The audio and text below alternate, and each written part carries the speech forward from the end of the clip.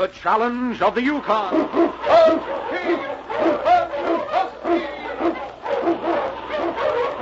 the swiftest and strongest of Eskimo lead dogs, blazes the trail through storm and snow for Sergeant Preston as he meets the challenge of the Yukon.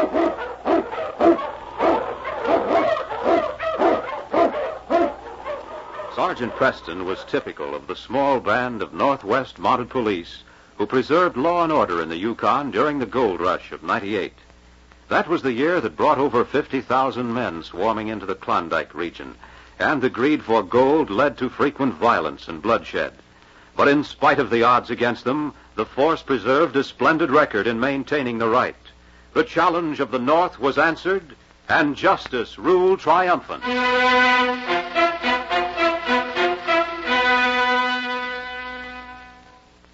Cafe was warm and crowded, full of men who smelled strongly of the mixture of whiskey and tobacco. Men who'd come to the cafe to drink, swap stories, and to lose over a deck of cards the gold they'd panned in the rich Yukon creek beds. Dirk Malone contrasted sharply with the heavy-set prospectors who lined the bar. His eyes were close and narrow, his hands uncalloused. To look at him was to recognize a gambler. All right, so I've had a streak of bad luck. Yeah, a long streak. Don't forget that, Malone. That's $10,000 you owe me. I'll pay it. You pay it, I'll see to that. But I want it now. I don't have it now. Well, ain't that too bad? I'll give you a week's time and no more. You'd have been better off if you'd have stayed up at the Clay Pipe mine with your old man instead of moving into town. Me be a miner? Don't make me laugh. Any day I'd break my back swinging a pick. Well, that's why I left the place. Now, excitement. The kind of gold he's pulling out of that mine, I'd have stuck. Your sister Molly's got the right idea. Ah, Molly's a soft-hearted fool. She'd stick by the old man if he didn't have a nugget. Maybe so. But she's a lot smarter than you are. Someday that mine's going to be hers. You mark my words. And you being a half-brother ain't going to make any difference either. You hear what I said? Yeah. Yeah, I heard what you said. Of course, there are ways of making sure that don't happen. Funny, the way our minds seem to run in the same direction. It's a mighty rich strike. Too rich to let slip through your fingers. I'm listening. Now, if you owned the clay pipe, or a third of the mine, I might be willing to forget that streak of bad luck you've been having. I should have thought of this before. Instead of begging for gold a bit at a time. You can depend on this much. He'll never leave you any. You've been too much of a headache to him all along. We always thought more of Molly anyway. Mac, you come out to the cabin with me tomorrow. We leave in the morning. You just do what I tell you, and you'll own a third of the clay pipe mine.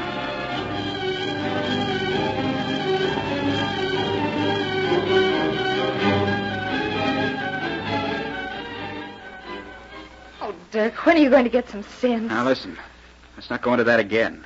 I didn't come up here to argue with you. No, not with me. You'd more than likely come up to argue Dad out of some more gold. I came up because I wanted to see him, that's all. You came up to see him. You never did believe me. That's what comes of being the black sheep of the family. I don't need money, see? You're always in debt. You never come up unless it's to beg him to get you out of trouble. Only this time I'm warning you. You won't get anything out of him. I don't want anything, I tell you. Where is he now? Down at the mine. Yeah, I know. Works the mine during the day and reads at night. Doesn't even have any new books around. Too bad you didn't bring some supplies with you. Could have saved him a trip to town. Huh? You didn't even hear me. I said it's too bad you didn't bring some supplies with you. You'd save Dad a trip to town tomorrow. Oh. He's going in tomorrow, eh? Well, that's fine. Just fine. Mac and me will ride back with him. That is, if we can bunk here on the floor tonight. Going back to town tomorrow just fits in with my plans. Sergeant Preston of the Mounted Police urged his team over the trail toward Claiborne. The merciless wind bit into the Mountie sharply, while King, his lead dog, ran ahead of the pack, breaking a trail through the heavily falling snow. On King, on you, Husky in town, boy. Oh, it'll be good to get out of this storm. Gee, what's the matter, boy, huh? Ho, you husky, ho! What is it, fella? huh? I can't see in this snow. All right, King, you lead the way. I'm nuzzling around the snow. I wonder if... Or it's someone fallen in the snow. Wait a minute. Why, it's Pat Malone. Shot. Shot in the back. Yes, King. He's dead. But who could have done it? The snow's covered all tracks. Well, we're closer to town than we are to his cabin. Now lift him. This is going to be bad news for Molly. And as for Dirk, well, we've got a real job ahead of us, King. We've got to find the man who shot Pat Malone.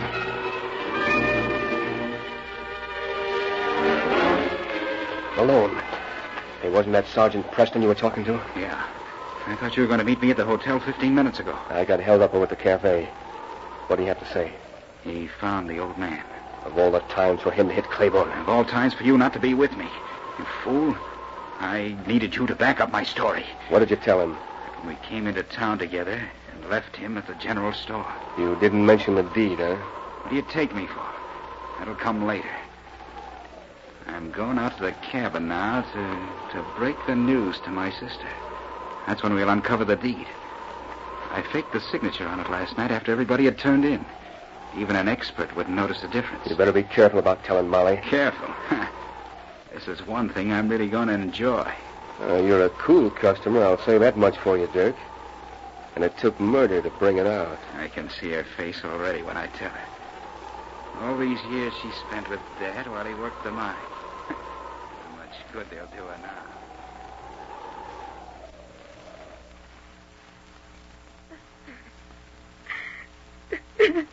It was Preston that found him, Molly. I can't believe it. I waited and waited for him to come back. I, I thought maybe he stopped in at the cafe or... You know he never spent much time there. no. It was always you. You were the one to spend time in the cafe. I I wasn't going to tell you this, Molly. Tell me what. Well, you see, have you seen the deed for the mine lately? What would I be doing with the deed? I, I guess it's up to you now to take care of it for us. You don't understand. What do you mean?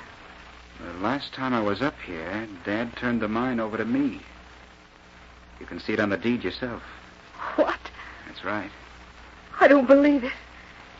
He wouldn't trust you with a poke of dust, let alone the clay pipe. It's in writing. What's more, I'm taking the deed with me.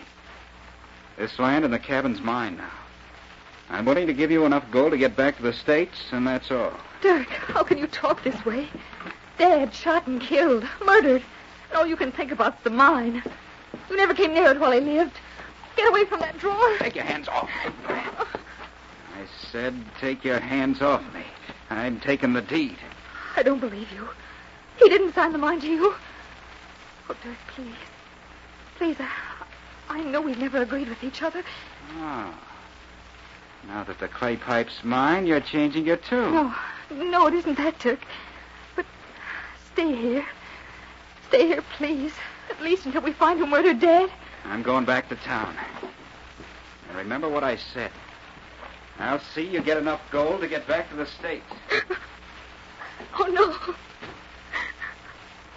It can't be true. It can't be dead. What shall I do? Preston.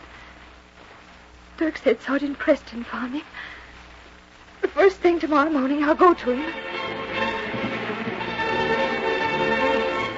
But Molly Malone saw Sergeant Preston sooner than she expected. Shortly after daybreak the next day, the Mounties' sled pulled up outside the cabin.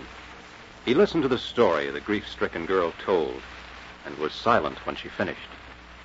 Did you see the deed? No.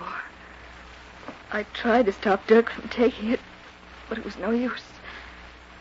He, he doesn't care about anything except gold. Molly, Yes, is this book. that's Dad's journal. He made an entry in it every day. Started it when he first came up here.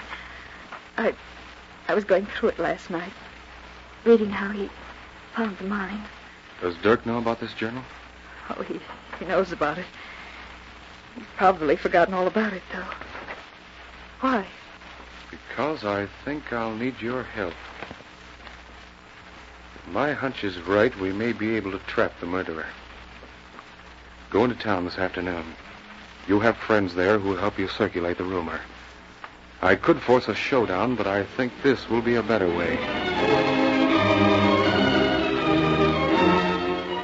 That night, darkness obscured the faces of Dirk Malone and Mac Simmons as they walked down the main street of Claiborne. Talking excitedly, Dirk occasionally threw glances back over his shoulder. You've got the deed. I tell you, there's nothing to worry about. I'm not taking any chances. If she gets that Mountie with the journal and her story, he might get suspicious. Much good it'll do him. You need proof. He can't pin a murder on. I guess where we turn. Yeah. I watched her leave with Mrs. Fleming. I went over to Hannah McGavin's. I get it. And Doc Fleming's at the cafe, huh? I made sure of everything. Now, wait a minute. Yeah, so dark I can't make out the doorknob. Doorknob. We aren't taking chances on the door. There's a window over here. Yeah. Right here. Now, Listen, I'll climb in here. Help me with this window, will you? Now, quiet now. Oh. That's enough. Give me your hand, Mac. Yep. Yeah, you were right. The place is deserted.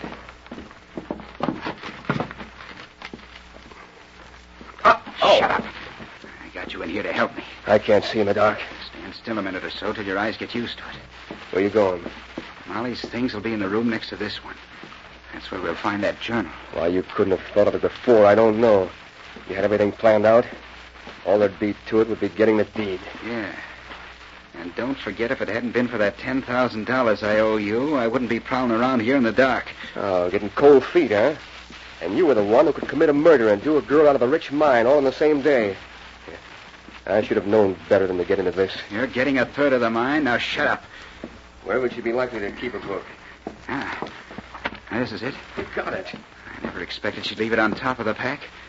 Come on, let's get out of here before someone hears us. I've heard all I need to convict you, Dirk. Put your hands up. What? You're under arrest in the name of the Queen. Where'd he come from? Make a dash for the window. No, no, you don't. Tap After the king. the lantern. Doc, like the lantern. Oh, get out. Get down. that's better. All right, King. Well, I'll be. Sergeant, why don't you tell me what you was expecting? Because I wasn't quite sure, Doc. That's why I waited. But you heard it all yourself. I heard it all right. And as for you, Dirk Malone, you dirty yellow I didn't have anything to do with it. He fired the shot. He shot from ambush. You double-crossing... It's true, Sergeant. Listen to me. He forged Pat Malone's signature on that deed. You're in this just as much as I am. Put these handcuffs on them, Doc. Yeah, gladly. I only wish mine was the pleasure of stringing them both up. Well, what made you suspect them in the first place? Well, there were no tracks on the trail, so it was impossible to follow them. I had a hunch when Molly told me about the deed that Dirk was responsible for the murder. But when I saw the journal, I was sure of it, even without examining the signature Dirk forged. If Pat Malone had turned the mine over to his son, he would have mentioned it in that journal.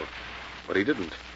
Instead, the pages are full of stories of Dirk's gambling, his losses, and his constant visits begging his father for money. All right, you two, get along. It's jail for both of you. Poor Molly's got a heavy burden on her shoulders, but at least she'll have the satisfaction of knowing the man that shot her father will hang. Yes, King, the case is closed.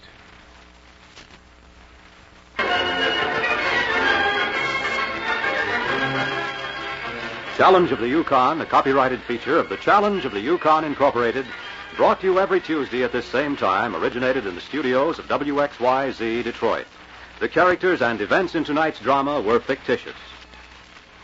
Bob Hite speaking. This is the Michigan Radio Network.